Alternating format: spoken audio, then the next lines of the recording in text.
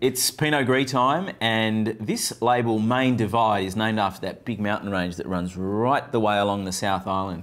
And this is a junior label from the guys at Pegasus Bay.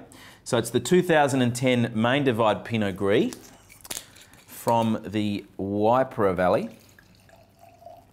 These guys make, make terrific wine. So nice gold, a little bit of that sort of pinky sort of hue to it that you, that you get with Pinot Gris. Oh, wow. They've had some fun in the winery with this one. There's, there's a, a really complex, sort of flinty, grapefruity edge. Really interesting wine on the nose. Gets the mouth watering.